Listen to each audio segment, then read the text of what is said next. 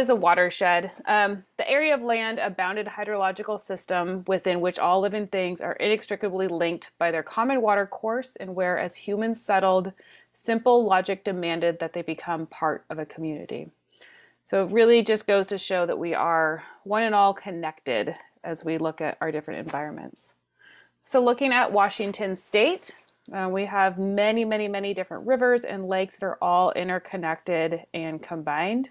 And then getting a little bit closer, looking at Puget Sound and kind of central Puget Sound area, looking at some of the specific watersheds that are important to these areas.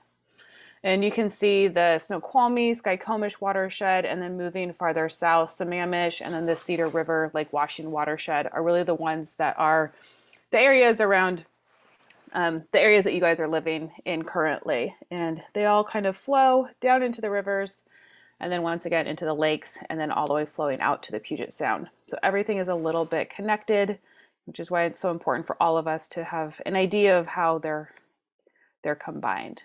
So when thinking about describing a watershed, we are not also or not only thinking about the physical but also how they may be are human managed. So thinking about the topography, the hydrology of that area, the ecology of the land, the infrastructure that is on those sites, the different demographics that are within those areas, how the land is being used. So, is it a farmland or is it an urban environment? And then also just the socio political priorities within those areas. These all have different impacts and changes within the different watersheds and how they are managed and how they are adjusted over time. So it's important to think about all of this when we're thinking about our, our different watershed environments.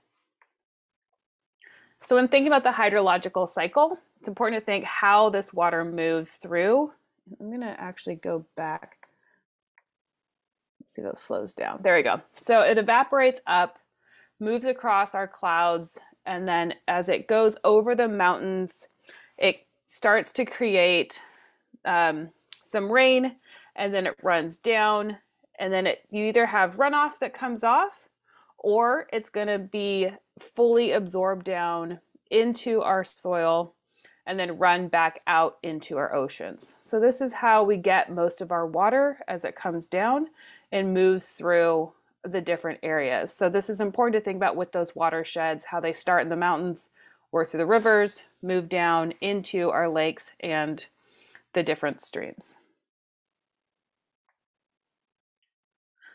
So continuing through, look thinking about erosion control. And so when we look at shorelines um, and even thinking about streamside areas, um, thinking about the vegetation that we have in our areas, whether you have little or have just removed a bunch of vegetation, this can increase runoff by removing some of those root systems. If you have really porous soil, the water will run right through and can oftentimes increase erosion. Um, having a bluff or some sort of steep surface um, will oftentimes create an unstable environment, which also with our heavy rains, without having any way to hold the soil in place, having those really saturated soils, oftentimes on those steep slopes, means that we're prone to having soil slide and create some different issues down the road. Living in a shoreline area, you have waves that may come up and start to undercut or create some even sharper areas, which will then also cause some areas for erosion to continue to move down.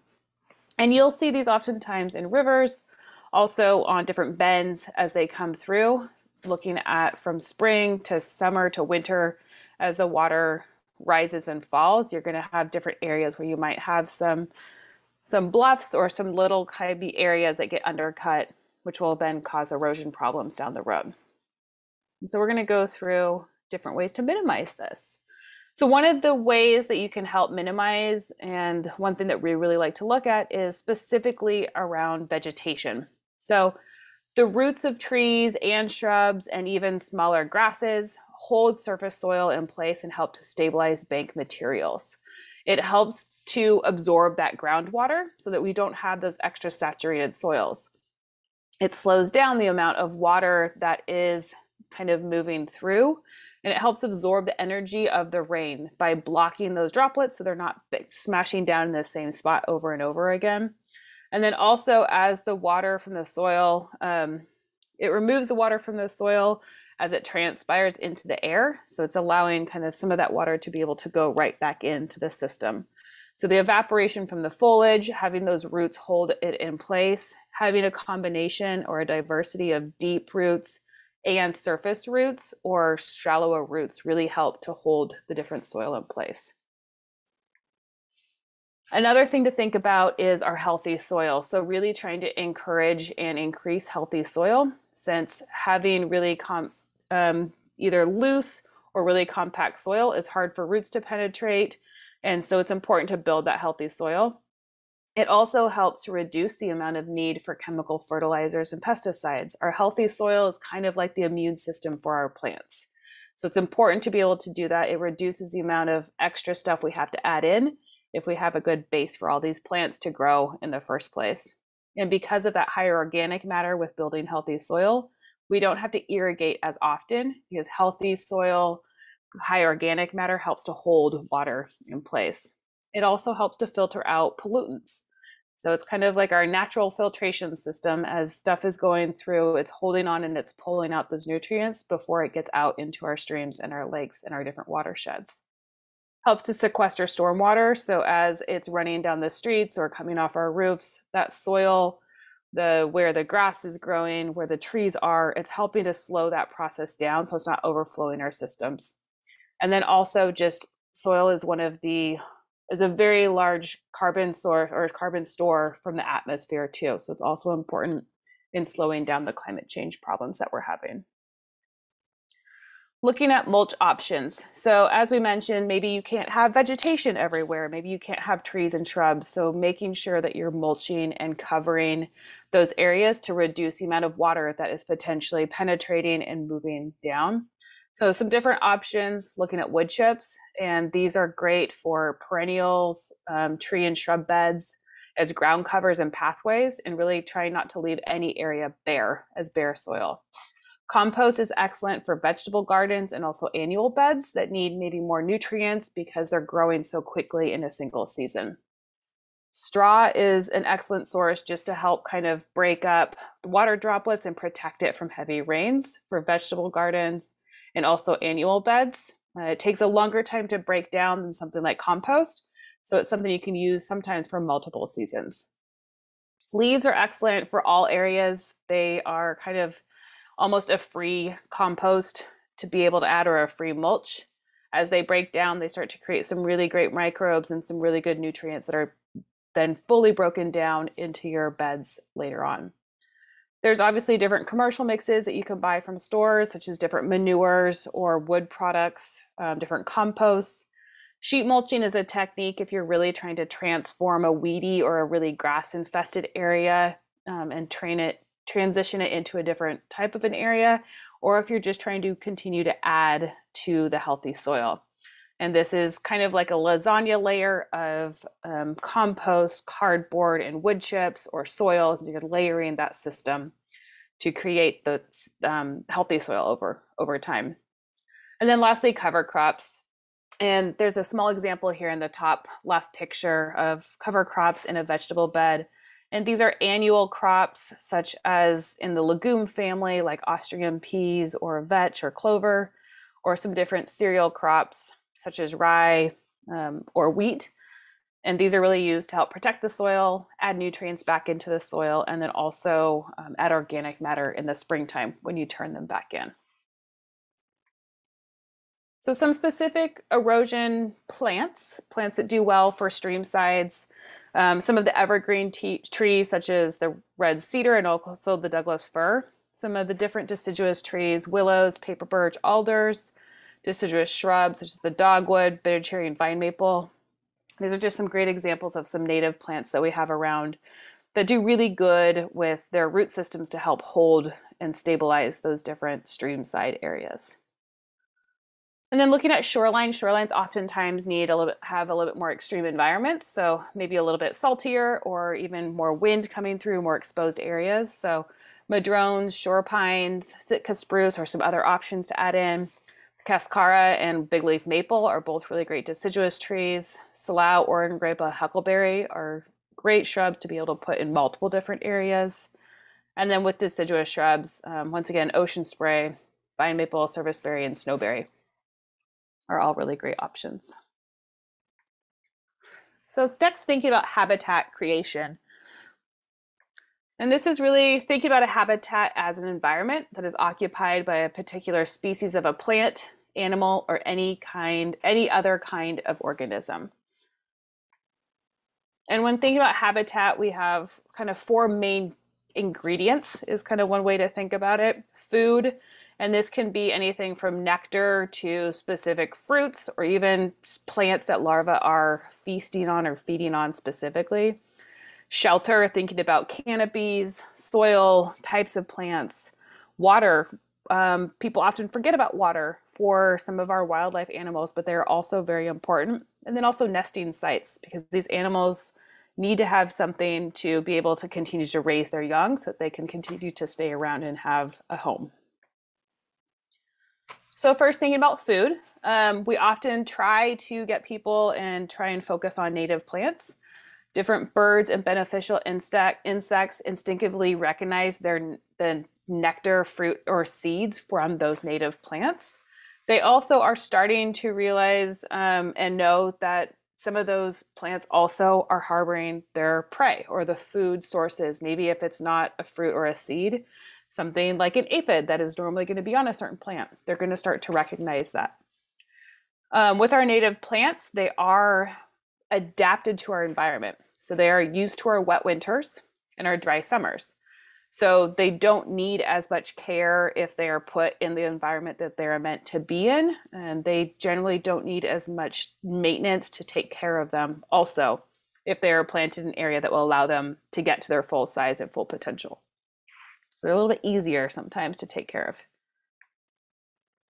Oftentimes with our food, so we mentioned the natives are very important because we are in an urban environment and an environment where landscaping um, and kind of beautifying our spaces is something that we all enjoy. There is also a lot of non-natives that can also provide food that have just been planted around for many years that many of our native animals are starting to recognize and so it is also helpful to make sure you have some of those other ones too, um, to be able to have that diversity in there.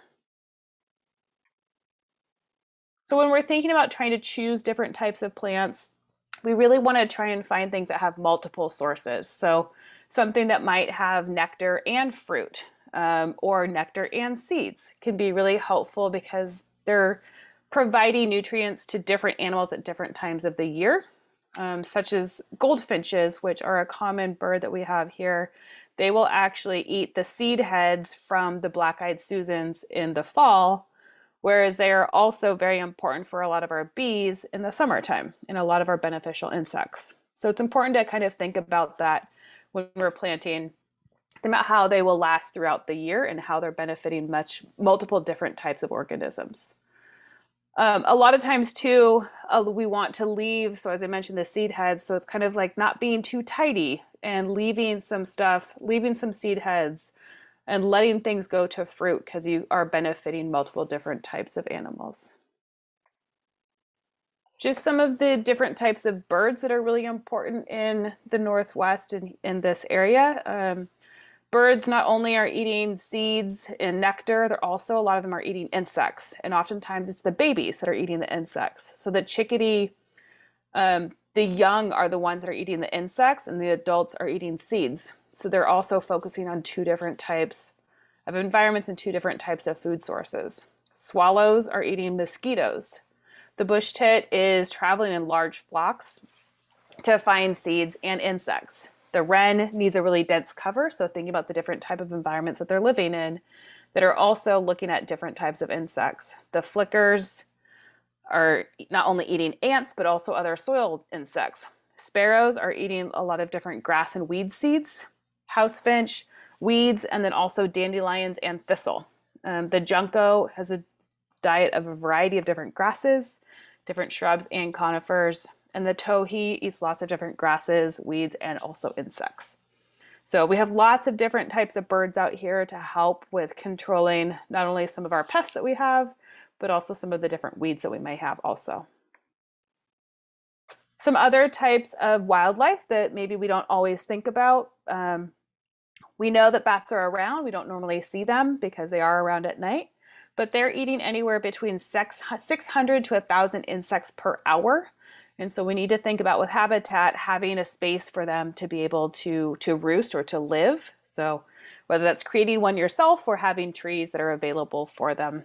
The hoverfly, which um, I will talk more about at the class on this weekend. Um, but the hoverflies are a, a, mimicking type of a fly that resemble a yellow jacket.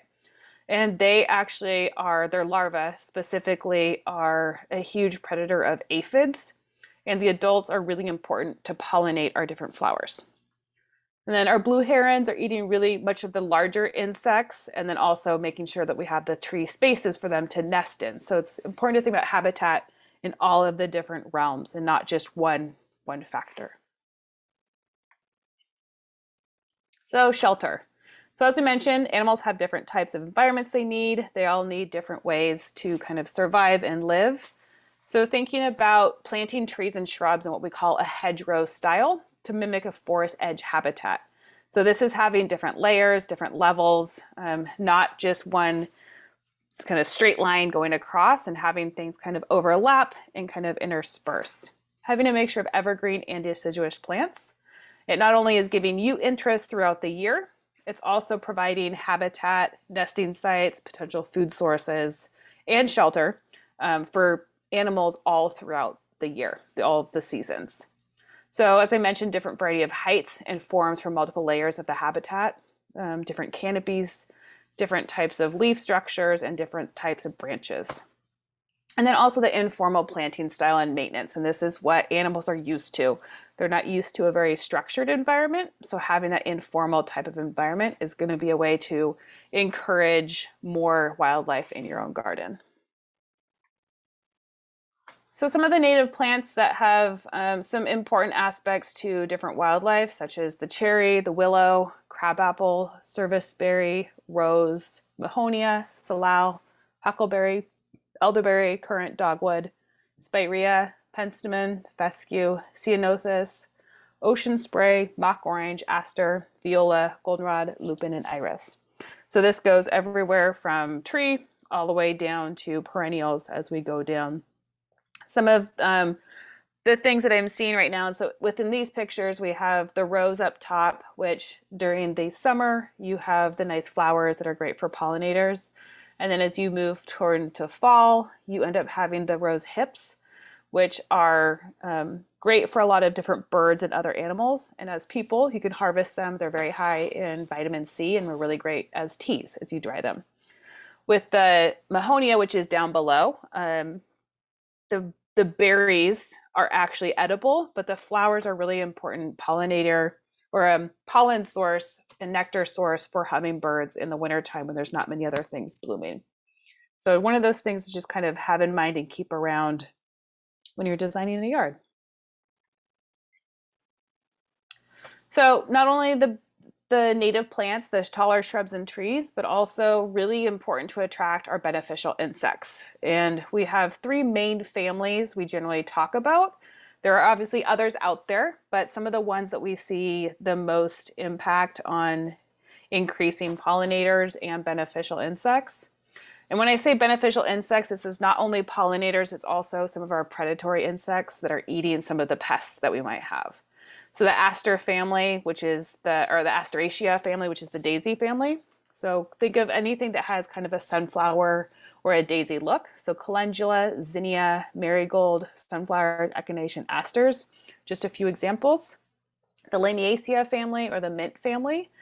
So the lavenders, the rosemaries, sage, mint, oregano, catnip, and basil.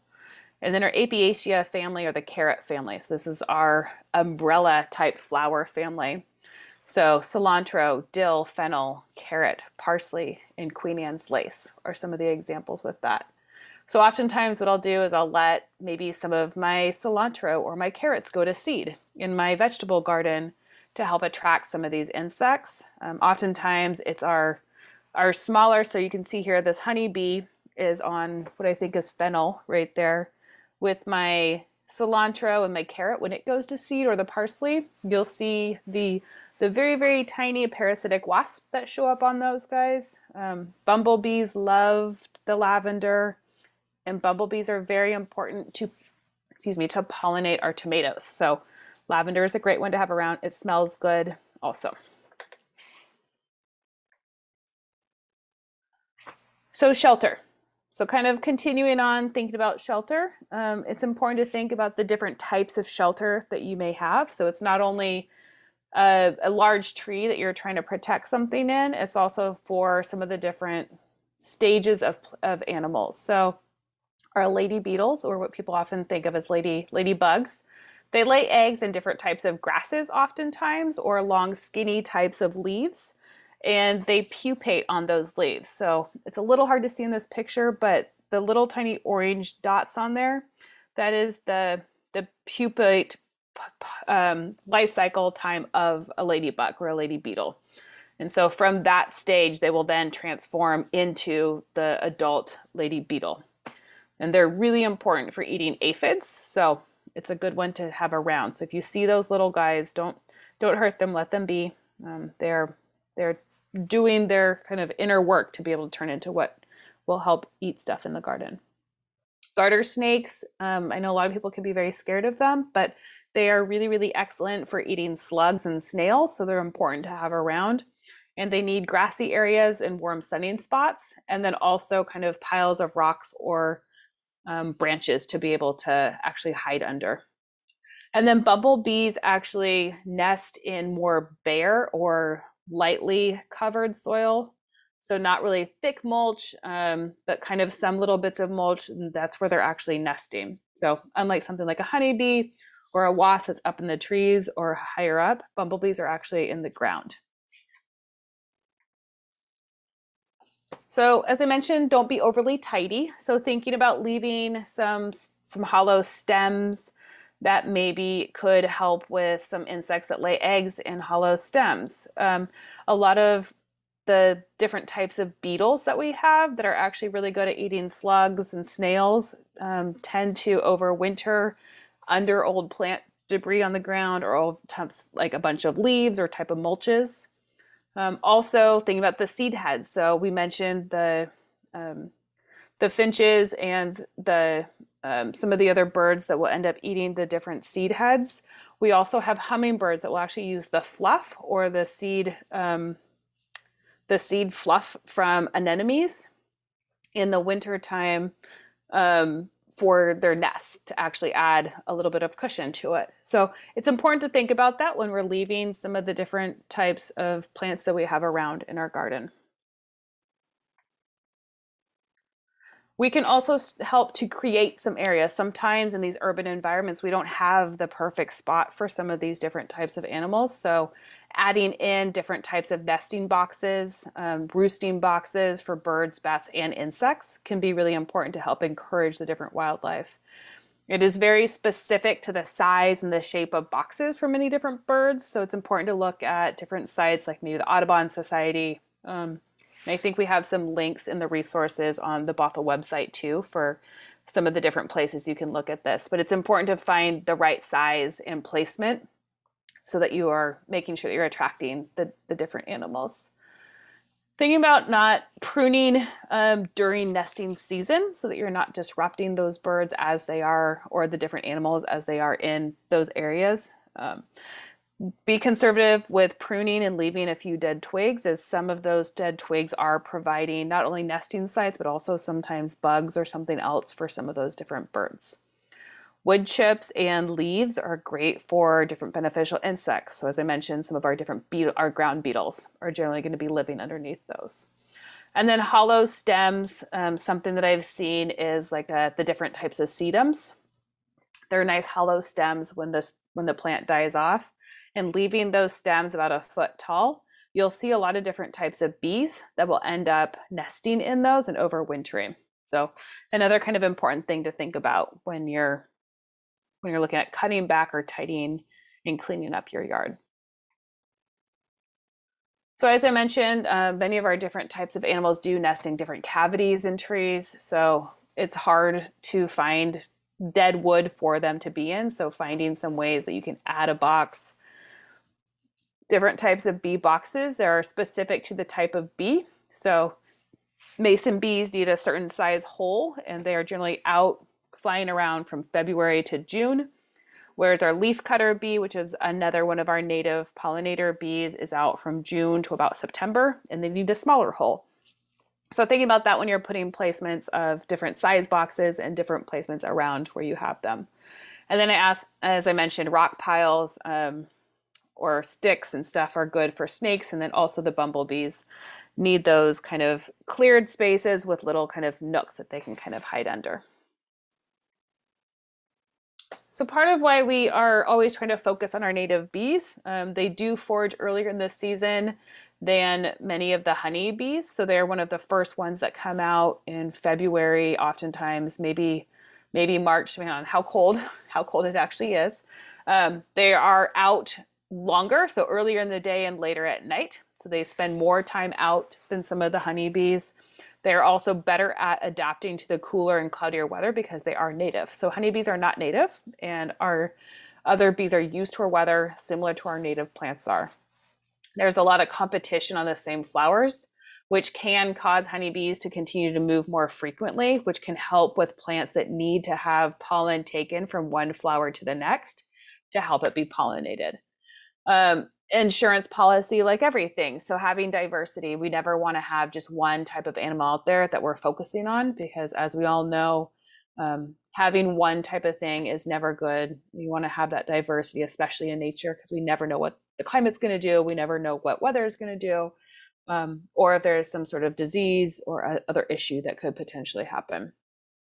So, helping to increase bee habitat um, and will really help with not only pest production and pollination um, of flowers, but also for a lot of our different crops.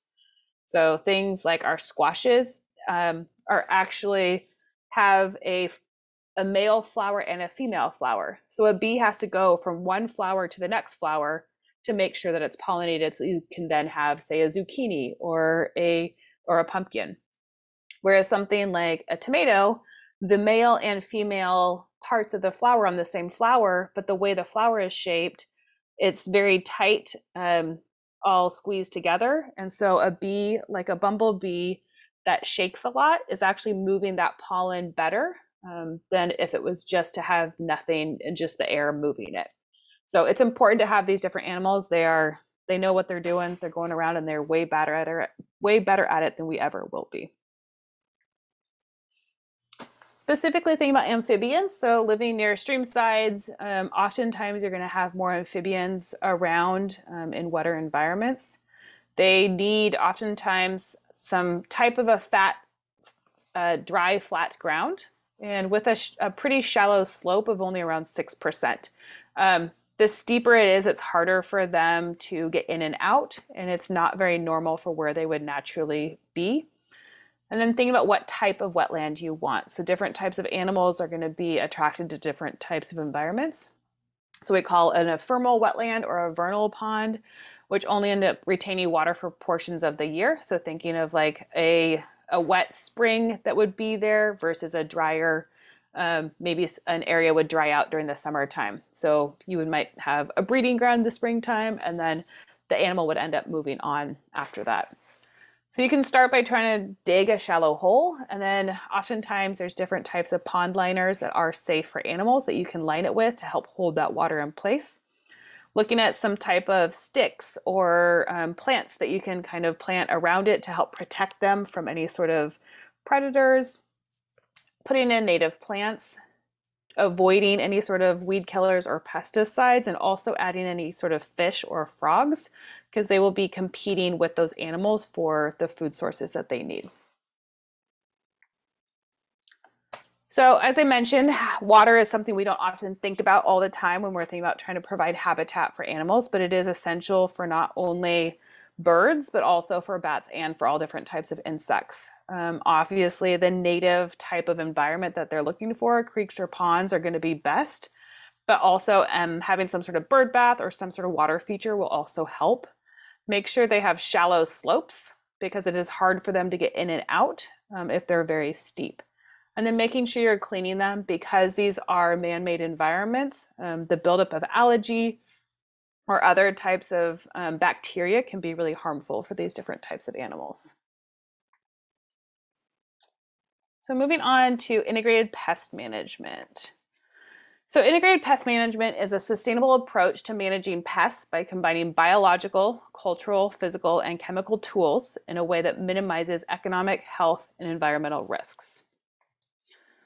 So why do we focus on this? So we do this because pesticides were designed to kill organisms, um, which had an increase in pesticide use of close to 175, 170% between 1964 and 1982. Within that time, US crop production had a 37% reduction by the negative effects of, um, of pests. And then that has kind of stayed stable over the course of much of our agriculture.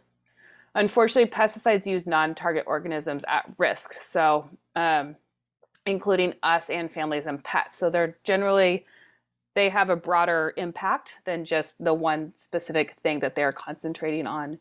They have generally around a 5% active ingredient versus the 95% inert ingredients, which are not required to be listed necessarily and also can be trade secrets. So with the combination of them and also the higher levels of them, they can also be toxic. So, in general, it's good to stay away from any sort of chemicals as much as you possibly can so that we aren't um, putting more potential harm to us and the environment. The toxicity of the materials used, the length and intensity of the exposure to the materials is what can oftentimes have the greatest risk to all of us.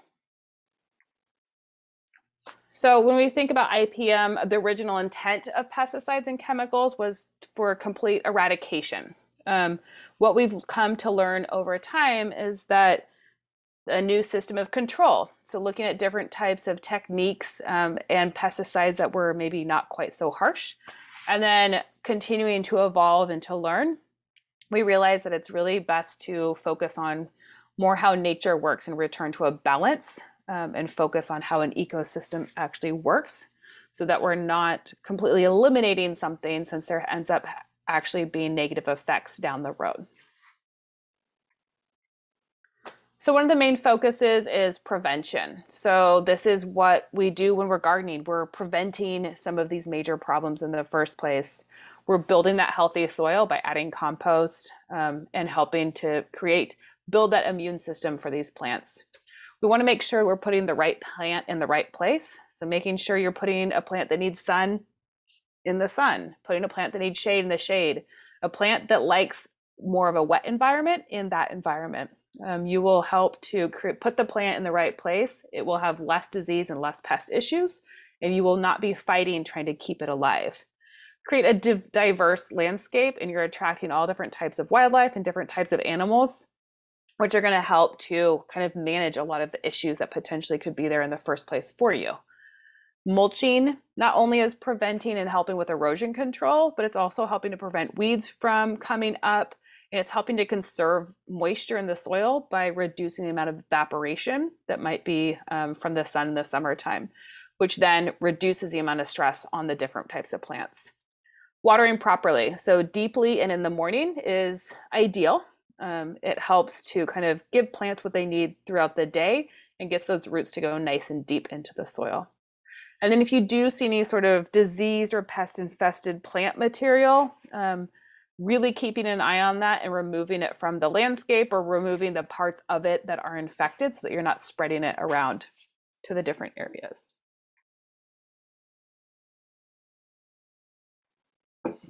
So next is observation. Um, and this is really important for, I think, everybody to just take a little bit more time walking through your garden and learning about the different plants that you have, um, knowing where they originally came from. If they aren't native to here, where they come from? Understanding their size and their shape, what their types of needs are, learning about the different life cycles of different pests. Um, so as you can see on the side here, we have a stink bug that goes through pretty much uh, from egg to a small stink bug and then getting up almost in the same type of a shape versus something like a butterfly that goes from egg to a larva stage to a pupa to then completely transforming into a butterfly. So, knowing their life cycles will help you to understand how they are going to evolve in the garden and also what plants they may be attracted to or where you'll end up finding them. Thinking about the different life cycles of weeds. So, we have weeds that are going to be annuals, which means they're only going to be here for one season. We have biennial weeds, which means they begin their life cycle in one year and then they finish it the second year. And then we have perennials that keep coming back year after year. Do they have a tap root or a fibrous root system? It's going to determine how you tackle them and how you are able to um, control them and manage them over time. And then tolerance. Um, tolerance is important because we are so used to eradicating or making everything look perfect that we forget that sometimes things aren't going to be perfect. We we have nature is not perfect. Nothing is perfect, so we need to make sure that we have a little bit of tolerance. Is the damage just slightly cosmetic or it, or is it going to actually hurt the plant and cause more problems down the road? Um, is it just a couple of black spots on a leaf or is the entire thing covered in um, some sort of fungal issue? Is the plant going to have this be temporary and then will it come back after the fact? Um, so when I think about that, I think about some of the different rusts that come on some of our plants because of our cool springs and our wet springs or our falls. So we have some plants that are susceptible different to different types of rusts. But if you cut the foliage back um, at a certain time, it'll come back and it'll be just fine, and you don't have to worry about it. And then also, is the plant worth keeping and continuing to treat? So, is the plant um, a really important plant to you? And if it is, then maybe you need to move it to a different spot because it's not happy where it is. Um, maybe you need to look at some of the different reasons that it might be continuing to have a problem. Uh, maybe the soil needs to be changed or, or adjusted. Maybe there needs to be more sun or it's too wet of an environment. Um, also, maybe the plant just will not work in your garden and it's time to be able to let go and find something else that will do better in that space. Um, continuing to fight it is going to never have it be a healthy plant and it's also a lot of stress on you to be able to maintain and take care of it. And then lastly, intervention. Um, and so, like we said, so thinking about do we need to remove that plant? Do you need to move it to a new place? Do you need to get rid of it completely? Um, looking at those cultural conditions. So, it's soil, it's water, it's sun type of environment. Um, is there some types of hands on treatment you can do, um, mechanical, such as removing or cutting different parts off of it? Looking at some of the different biological types of um, types of, of controls can be something like um, the BT. There's a, um, a, a bacteria that you can spray that can actually kill some of our different types of insects that we have, um, different types of worms, oftentimes. There's some different types of soil organisms that you can put in the ground, which sometimes will then eat different types of grubs. Um, so, thinking about some of those different types of options that are out there and then chemical, and this is really the last, last, last resort. Um, and even even organic, even natural ones are still chemicals and can have a negative effect. So, like I said, doing everything else first to make sure um, that it's really what you need to do. So, this cultural adjust your watering, prune for airflow, fertilizing, looking at the, the trunk flare on trees to making sure they're not buried too much under compost or mulch mechanical, hand removing the pests, um, pulling the weeds before they go to seed, using slug traps, biological, so the different bacteria, fungi, or other biological sources. So the BTK that I just mentioned um, can control tent caterpillars. And then, as always, chemicals, last resort, and use the lowest toxicity product um, that you absolutely can. So, another reason to avoid our chemicals um, because of these lovely little animals that we have here. So it can, if you have used chemicals in the past, it can take an adjustment period because oftentimes with chemicals are native predators, uh, different insects or birds or whatever that might be helping to control the different pests have are not there or they're in limited supply. And so once you stop using those chemicals, you might need to have a little bit of patience to let those different types of animals move back in to help take over. Um, it really is important to think about our water quality and to protect not only the birds but also the salmon um, different populations that we have because they are are all very much impacted by different types of pesticides and chemicals. So next looking at pollutants. So the impact of pesticides on the environment. So this is a a lot of information all on one slide, but pretty much what we're looking at here is how um, different pesticides or chemicals are being moved around um, our watersheds in our different areas. So as they're being added on, say, um, I mean, it could be anything from from dog poop from big urban environments or dog parks, or from a golf course, or from a farm as you're adding these different chemicals, they're going down into your streams and they're coming down, they're evaporating up into the air, they're going through and they're moving back through over our mountains or over our different areas, turning into precipitation, coming back down, going back down, and circling all over again. So it's a continual supply of just moving things around. So it's really important to think about that, that whatever you're putting in your own space, is not only impacting that direct area, it's impacting everything um, around you. So I um, spoke to somebody from the Bothell Surface Water team, and she gave me the top pollutants that are in the area um, and some of the ways that people can help with managing that. So, one of the ones she mentioned was bacteria, such as E. coli. And this oftentimes is coming from waste from humans or other warm blooded animals, and then also failing septic systems. The Department of Ecology re- recently adopted E. coli in their freshwater quality criteria for bacteria, and fecal coliform is no longer assessed. E. coli is an accurate indicator of bacteria related to illness from contact with polluted waters. So, some of the different management techniques you can do is to help pick up waste from your pets maintaining those septic systems and also to avoid feeding ducks and other waterfowl that are collecting or concentrating in um, different lakes and stream areas. Different nutrients, and this is oftentimes thinking about different types of fertilizers. So um, it's important to get your soil tested before you're adding a whole bunch of nutrients and making sure you're following the recommendations on the backs of those bags and what your soil test has said different animal and human waste, so failing septic systems, and then also high levels of phosphorus from dishwashing detergent, which also high levels of phosphorus for lawn fertilizer too. Um, so making sure you're thinking about that before you're adding any types of fertilizers and also what products you're even using within your own dishwasher.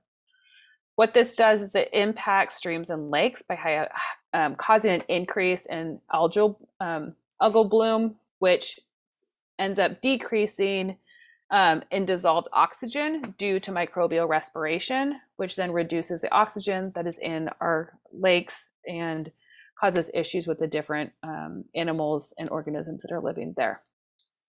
So, the best things you can do with that is to do some of these different natural yard care techniques that we're talking about, picking up your pet waste, which includes chickens, and then also maintaining septic, septic systems, and then making sure you're taking your cars to car washes and not washing them in your own yards since oftentimes those are the water is running straight into our sewer systems which is causing problems down the road.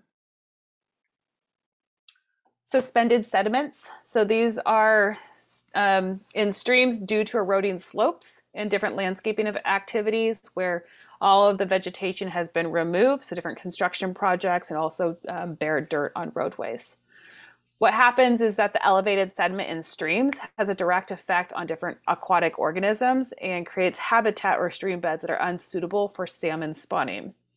So, looking at reducing the amount of exposed soil that you have by applying straws, mulches, um, or even um, she said tarps, but also thinking about burlap bags in areas to reduce the amount of sediment that may be moving down into the streams and then looking at stabilizing those stream banks with um, native ground covers or even putting some sort of large wood debris to help break the amount of um, potential erosion that might be happening. And then lastly, um, elevated temperatures and dissolved oxygen. So, while water temperature is not necessarily a pollutant, it is having a direct effect on our urban watersheds. So, with the stream temperatures increasing due to a lot of tree shading, to loss of tree shading, and the increase in pervious surfaces such as roads and parking lots, the rainwater flows through street catch basins and pipes, which lead straight into Bothell streams instead of filtering through the groundwater. So, thinking about how our watersheds are moving through and where we want our water to go right back to where it was first intended to go. So once this te- the stream temperatures rise above 16 degrees Celsius or 60 degrees Fahrenheit in the summer, or 55 degrees for the remaining months, the survival of native fish and aquatic communities becomes challenging. Those elevated temperatures have effect on the dissolved oxygen, which interfere with development of embryonic juvenile growth and adult migration of these native fish. Um, so really looking at adding more shade coverings around streams, adding vegetation to help with that. And so lastly, looking at pests and weeds. Um, so some of the common pests that we have in our kind of urban urban environments, um, and these aren't necessarily streamside specific as much as just stuff you're going to end up finding in the northwest in your your backyards or your front yards. So whiteflies can be really common um, on a lot of different types of vegetable gardens, and oftentimes it's from crowded and overly stressed plants. You can put yellow sticky traps up to track the different population numbers, but it's really important to to look at why the plants are stressed. Um, sometimes the whiteflies will come towards the end of fall when weather starts to change a bit and the plants have been growing for a longer period of time. Lace bugs you're going to find on azaleas and rhododendrons a lot, and oftentimes also stressed plants and overly crowded. So improve air circulation, check the health of the soil and the plants. Um, there's a lot of beneficial insects that will help to control them, and then making sure that they're fertilized correctly. Spider mites um, are what you see in this bottom picture here. So oftentimes stressed plants, but also really dry conditions. So checking the health of, soil, of soil and plants, mulch to help reduce the amount of dry soil and holding that moisture in. And then oftentimes you'll see this next to um, like air vents, um, next to houses where there's just constantly a dry air blowing on the plants. That's where oftentimes you'll see this. Deer um, is still considered a pest. Um, they're going to go after tender new growth.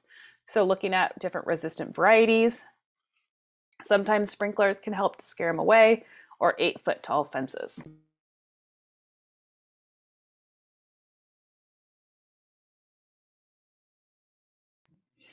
Um, aphids um, love our tender new growth and also when plants are overly stressed. So different beneficial insects, also doing some mechanical, just rinsing off the plants since they have some life stages that aren't as um, they can't move as much, so just spraying them off oftentimes will help to keep them at bay. Slugs and snails like cool, damp areas. They love our springs um, when it's nice and cool outside. Um, sprinkling eggshells or oyster shells around your plants, building a slug trap like you see here with a little bit of um, a yeast mixture or an old beer, a little bit of old beer. The slugs will crawl into and end up drowning in that. Imported cabbage butterfly, like we see here, loves brassicas. So thinking about that with the types of plants that you have. Um, and then also when they're overly crowded, it gives them good hiding spots. So putting a little bit of a floating row cover in and also a lot of different beneficial insects and then also crop rotation. Since they're used to those brassicas, moving them around your garden and not only having them in the same place will help to reduce the, the amount of them. Rabbits and squirrels. Um, they like a lot of different new growths. Squirrels specifically love the bulbs and just digging holes in everything. Um, there is not any like real tried and true um, putting up short fences around them, bird netting to help cover plants when they're newer. And then also a cayenne pepper spray. They don't like the spice, um, the capsaicin, so that can also help to keep them keep them away. So moving into weeds, um, thinking about the noxious weed law. So it requires property owners to control and stop the spread of certain types of designated noxious weeds on their properties, um, both aquatic and non-aquatic. And so what they're looking at here is the different classes. So we have class A weeds, which are the highest priority statewide, and that's generally because they are highly limited in distribution. So these are things that haven't yet gone everywhere. Um, it's easiest for um, state and counties to be able to control and eradicate them before they start to be a huge problem. Class B weeds have a split distribution and control is required only where they are not already widespread. So thinking about that, and then Class C weeds are the most widespread, and their control is typically not required, although recommended where possible. Um, it costs a lot of money to maintain and to get rid of weeds, and so they really try and focus on the priorities where they're going to have the highest impact if they continue to grow um, and spread. So when thinking about weeds, um, a weed is just any plant growing in the wrong place. So not everybody wants to hear that, but it is true. Um, they can be useful sometimes, um, such as the clover. Clover is a nitrogen fixer, so it's actually adding nitrogen into your soil. They can be vectors for other problems. Um, so something like a lot of different mustards can also harbor the same types of chemicals or can cause the same types of problems um, for some of our brassicas um, because they're in the same family they can also cause cause some issues down the road. They can also be indicators of what your soils are, and this is, I think, something that's really important to think about. If you have dead nettle, which is the plant on the upper left coming up, it generally is popping up in more currently disturbed and high moisture areas. You also have the plantain, um, which is going to show up in wet, waterlogged soils. And another one that's going to be probably a really common one for people to see is the buttercup. And the buttercup comes up in more acidic and compact wet soils. So when thinking about this, um, changing the soils are how you're going to be able to control the plants in the long run because they're always going to find a way to come back unless you can change those soils and change the environment that they are growing in. So there is always something to take into consideration, um, specifically with aquatic environments. Oftentimes, you do need a permit to be able to do a lot of work because they are growing in what is generally considered easily disturbed or sensitive environments. So, it's important to look at the regulations within your area um, before you start just removing a whole bunch of, of large material. Plants that are growing in water at minimum, you need a pamphlet hydraulic project approval free permit from the Washington Department of Fish and Wildlife. And there are rules regarding aquatic herbicide use or um, that are administered by the Washington Department of Ecology and also the Washington Department of Agriculture. So making sure you know those um, that information before you start doing a lot of big removal is really important. Um, it's important to take care of a lot of um, weeds that are along our waterways because they're displacing native plants and also fish and wildlife habitat. And it can be also damaging to commercial and sport fishing. It reduces recreational activities such as boating and swimming areas, clogs irrigation and drinking water structures, and also reduces um, or decreases water quality.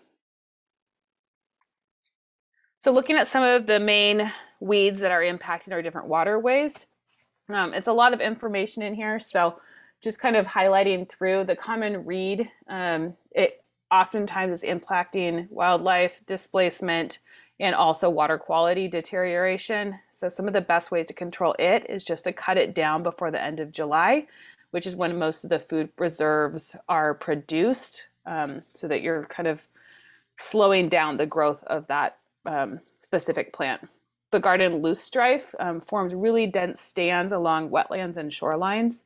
And you can actually cover the areas with plastic um, or a tarp, and that will end up kind of um, shading out the plant to end up killing it.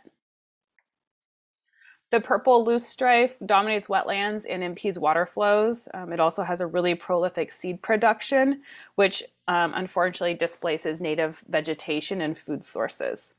Um, there is a two foliar feeding beetle that has been really effective um, in some of the different types of biological agents for controlling that.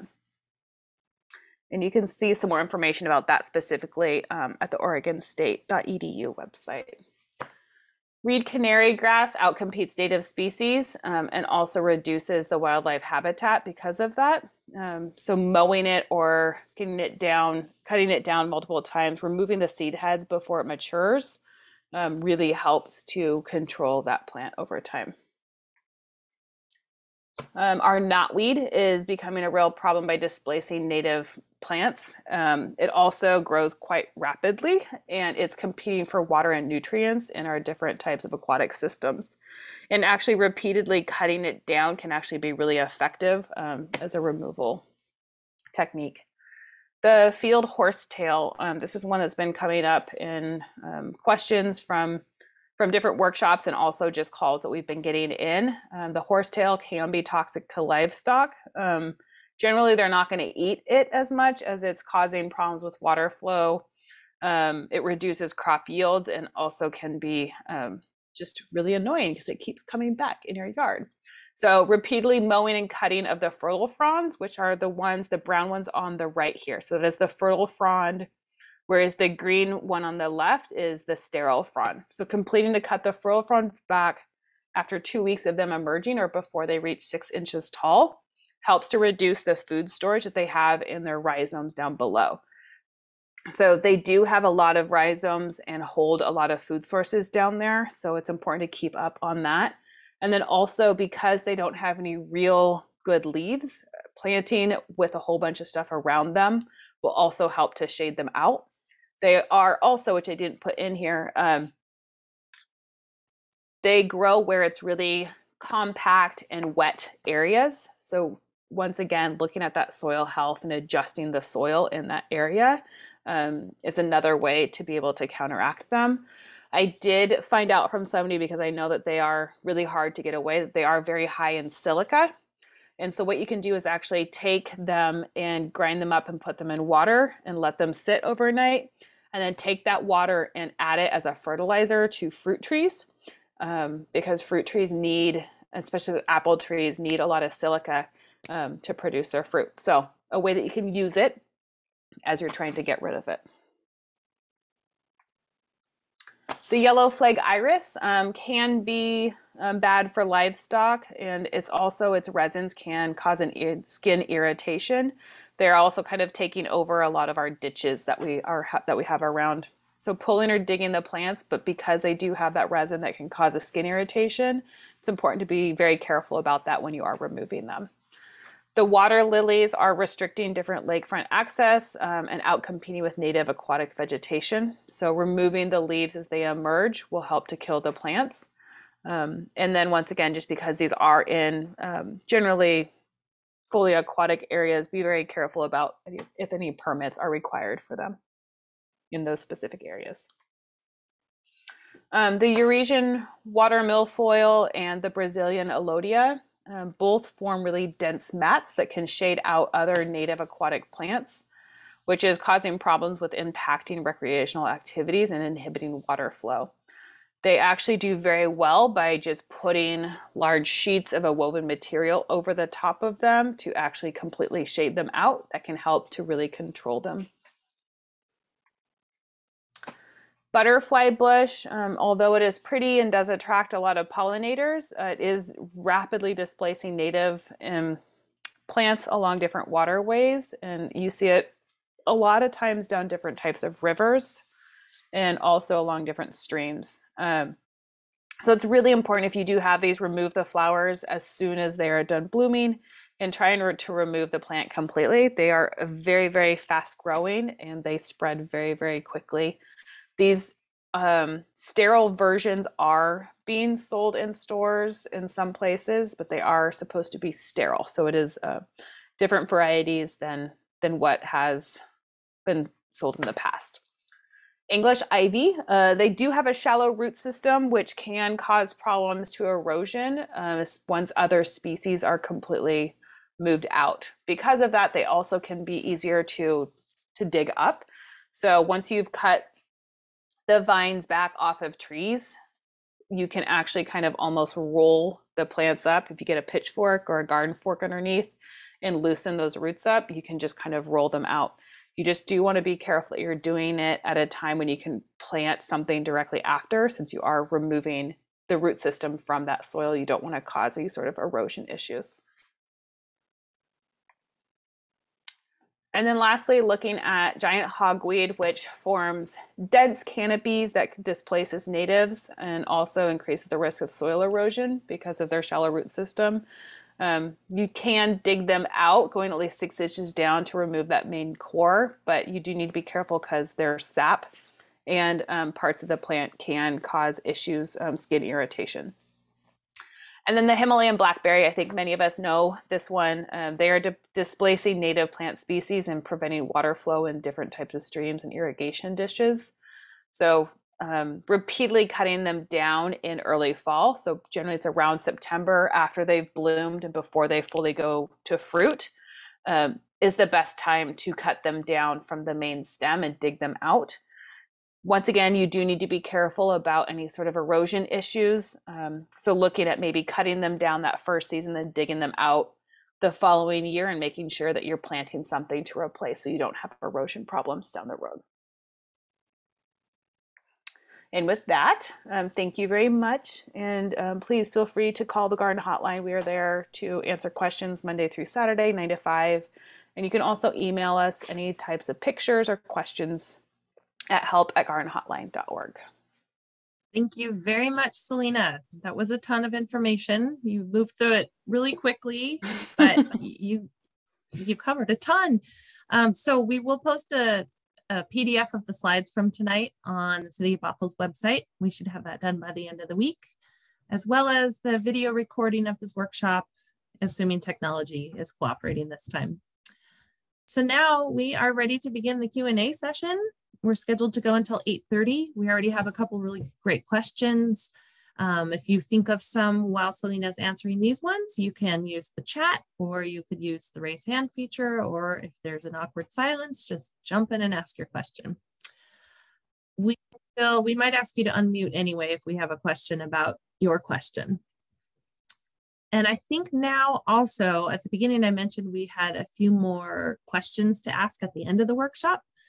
And if you answer those, then you can be entered into a prize drawing for one of the two gardening books that I mentioned, or there's a $25 gift card to Molbak's, or a 90 minute consultation with either Selena or one of her coworkers at Tilth Alliance. They'll come out and assess your yard and give you recommendations and great ideas for um, how to make it work the way you want it to.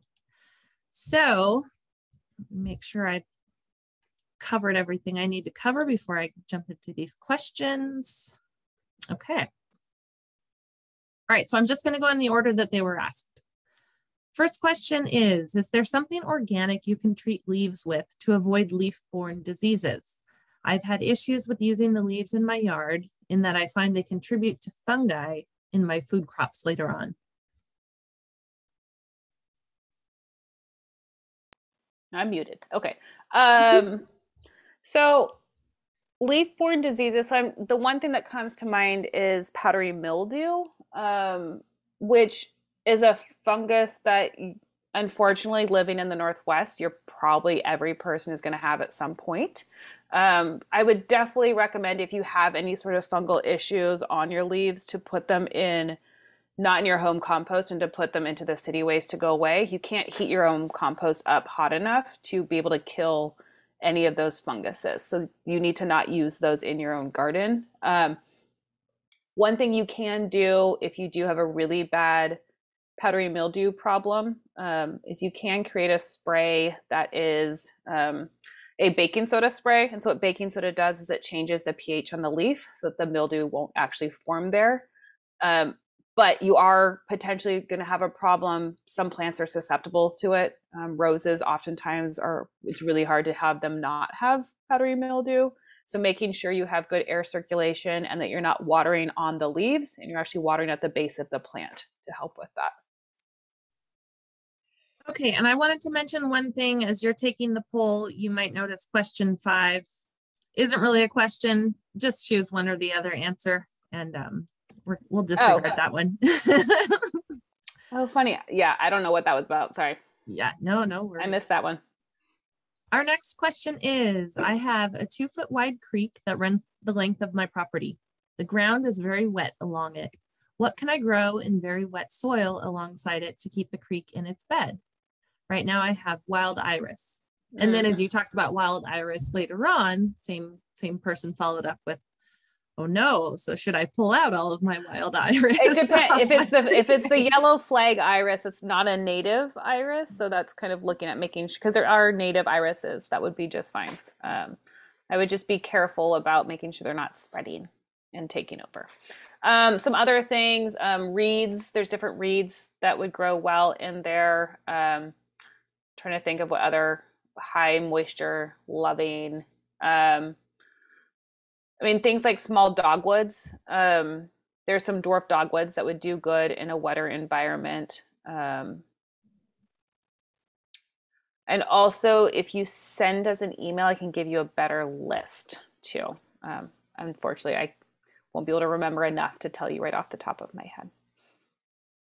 All So feel free to email the hotline, or you can also send me a private message with your email, and I can give you some more information later. Can. Are you able to put put up that final screen again? Just the one with the garden oh, hotline Oh, yeah. contact info. Yeah, yeah, Okay, we can just leave it up for a few more minutes while Yeah. people finish the poll. great. And I will move on to the next question, which is, we are talking about how to invite wildlife to our yards, but I would also like to know how to discourage some, like blue jays and squirrels. Three years running, we've had beautiful little Mhm. swallow nests and the babies have never made it. Hmm. That's Um, Squirrel, I mean, it's unfortunately there. I don't. Trying to think with squirrels, I have squirrel problem in my own yard. Um, one thing that I end up doing is making sure the nests, like after the babies are gone, is taking the nest out of the tree, and that will help to keep them from. Um, they'll kind of move on to a new space. Um, in larger areas, that can be harder to do. Um, I would say encouraging some different types of predatory birds to be around because they're going to end up going after the squirrels or after the blue jays uh, or the Steller jays. Um, I don't know specifically what predators would keep them out. They're obviously going to be there because of you've created a nice wildlife habitat for them. Um, but yeah, specifically those two. I mean, they're hard because we live in an urban environment where we also have those types of animals have learned how to flourish in those types of environments. So it is really hard to keep those two um, out. Um, making sure that you're not putting bird seed out that they're both coming at because they are both opportunistic type of animals and they're going to come and find um, what is ever around for them too. if I can offer another do not do this, we recently had um, a situation where a resident was trying to get rid of some pests in their yard. And so they covered their pretty much their whole yard with mothballs, which you you cannot do that. So they're highly toxic. and one of the neighbors smelled what was going on. So she called us and Yeah. code enforcement was out there. So although maybe that could be an effective way, it's not a legal way. And please don't, don't, don't use mothballs for things they're not intended for. Next So I also see bats. Oh, I just Yes. was reading the next. So bats. Um, Yes. bats are the the number of bats that have rabies is very very low um, in our area so i would not worry about bats being around they're more beneficial than they are something to be concerned about you obviously don't want bats in your home so making sure that you have um, all the little nooks and crannies and possible ways for them to get in patched up um, because that is when you potentially will have a problem. They're not going to come after you unless you're disturbing them and that's pretty much when that's going to happen is if they're in your home. So making sure you have any cracks or anything like that patched up um, but bats are really a great thing to have in in your um, out in your yard Okay. The last question that I see so far is we have a new development across our small creek. Developer was required to work on the riparian area and they've planted numerous western red cedars approximately five to six feet apart and right up next to an existing fir and hemlock that are 100 plus years old. Isn't that entirely too close? uh yeah i mean that seems that seems very close to me Um, for very large trees. Yeah. so often, unfortunately, what oftentimes happens is that it's um, things are planted with a um, make it look full fast and not a how is it going to look down the road or how is it going to be maintained down the road because people that are adding stuff in aren't the ones maintaining it um, unfortunately. And that's oftentimes when we end up having issues with diseases or pest problems too is because things were overly planted and then you're having to do a lot of pruning. Um, they're stressed out because they don't have enough root space um, to grow. Um, so yes i would say that's too close um, but i don't know entirely what you could potentially they are going to be slower growing so it's going to take a while but um, it will potentially cause problems down the road so there, some of them are probably going to end up dying because they're going to out get out competed with something else. So if anyone else has any more questions, we still have a little bit of time left to pick Selena's brain. If you have a question, you're welcome to just jump in and ask it or type it. And also feel free to email or send pictures later. So. Oh yeah. Here's one. I'm concerned um, about erosion caused by mole activity. Is this something to be concerned about? And if so, what's a good way to control them? Yeah, moles. Um, I mean, if they're if they're on like a hillside, that might be something to be slightly concerned about. But generally, moles aren't. I mean, they're they are burrowing. They're not making extents. I mean, they're making a little bit of tunnels. It's usually not something we worry about with erosion issues. Um, if you are on a critical slope or something like that, then you might want to worry up a little bit more about it. Uh, it's definitely not something you need to worry about with like your foundation or anything like that. Um, that has been questions that I've gotten in the past. Um, but some things you can do, they don't like really strong smells. So some things that people have tried is um, taking like mint or rosemary and blending it up in a blender and then adding it to like hot water and pouring it down their holes um, that is one thing. The one thing with moles is that it does mean you have really good worm activity. So you have healthy soil. So they're there because you have healthy soil. So something to think about. Um, they are very hard to be able to to control because they're kind of they're moving around a lot. Um, but like I said, the the pouring of hot water down with the mint or stuffing mint and other really strong smelling stuff down there is one thing that I've that I've seen. There's a handful of other techniques um, that I just can't remember off the top of my head. So send us an email and we can find the um, that list for you also. We have another question about biochar. What do you have any thoughts on biochar specifically to control nutrient runoff? Um, I don't have a ton of experience with biochar. It's not something that we generally see um, here in our environment because of the type of soils we have. It's not something that's commonly used. That being said, it doesn't mean it's not a good one to use. It's just not something we teach about oftentimes. Um, and so I don't know if it's the if I'm the best person without doing a little bit more research to be able to comment on. Um, it's used a lot of times in very um, in very arid environments to help with adding nutrients back into the soils. Um, and we just we don't have that type of environment here. So to specifically control nutrient runoff, I mean, a lot of our nutrient runoff is due to um, the leaching of the soils from rains, and so protecting that soil is really going to help with that. The biochar is going to add nutrients into the soil. Um, so yeah, if you want to send an email, I can I can do some more some more hunting and research on that. Um, like I said, it's not something that I have a ton of experience on. Okay, another question. This was about the trees that were planted most likely mm, too close mm -hmm. together. Do we have any recourse? Who would we contact? They supposedly hired an environmental company, but I seriously fear for the existing row of the fir or hemlock. Um, if it if this is within Bothell city limits, I would start with our with community development.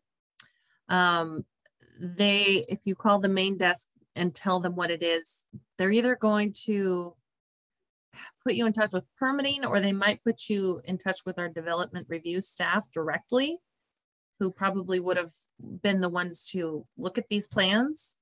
So that would um, that would be the best place to start if you're within the city. Catherine, did you have another question? I just saw your hand raised.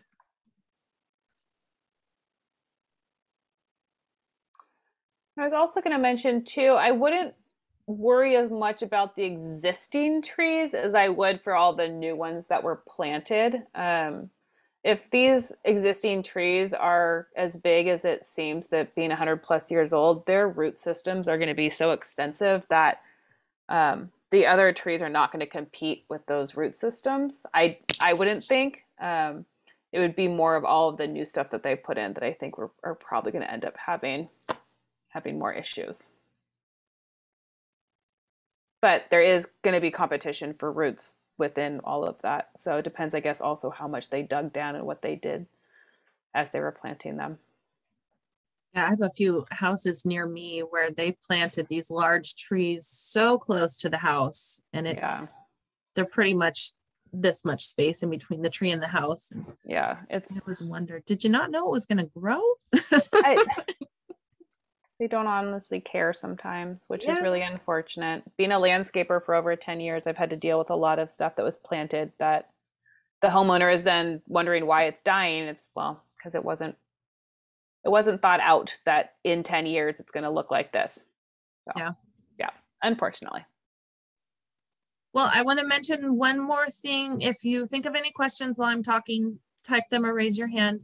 But I did want to mention we have it's not necessarily part of the natural yard care series that we did this year, but we are doing an Earth Day container gardening class with Selena this Saturday. We have two sessions, a morning and an afternoon, and we still got some spots available. Um, we've got 12 inch shallow planting bowls and we'll have a few flowers and herbs that you can plant in them. We've got the soil, the gloves, everything. We just um, want the people to come and you'll learn even more about pollinators and then have something pretty cool to to take home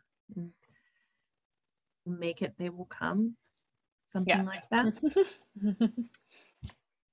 so you can if you're interested in that you can sign up on well i think i put it i put the link in the chat a little bit ago but it's i'll add it again it's just bothell.gov slash earth day Of course, it didn't hyperlink it there, but picture. Never, never, does when you want it to. I know, I know. The whole thing. Okay. Well, I don't see any other questions or raised hands. Last call. All right. Selena, thank you again. You're always You're a wealth of knowledge and I always learn something new. I think we've been doing this series for well, I've been in this role almost five five years now, and so you you really are an engaging person to listen to, and I appreciate appreciate that. of mm-hmm. course. Okay, thank you everyone for coming, and I hope we'll see some of you on Saturday. If not, I hope you find um, whatever way floats your boat to celebrate Earth Month this month. Yes. Thank you, everyone. Have a great night. Thanks.